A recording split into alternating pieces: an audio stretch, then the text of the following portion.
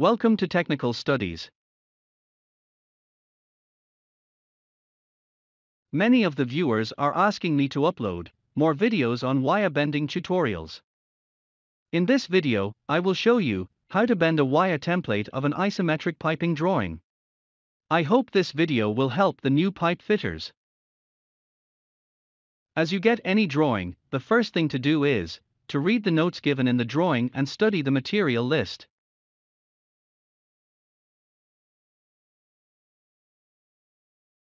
You can download this drawing and many other documents. The link is given in the description. Imagine that you are looking to the north direction.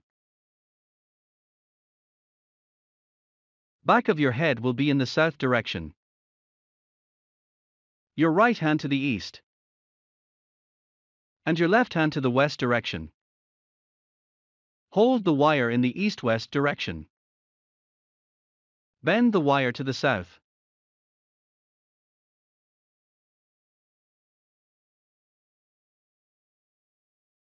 Bend the wire upward.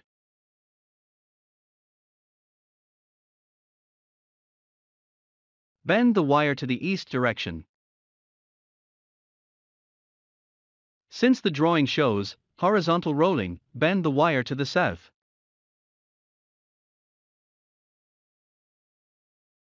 Now, bend back the wire 45 degree to the east, so that this portion of the wire shall be between the south and east direction.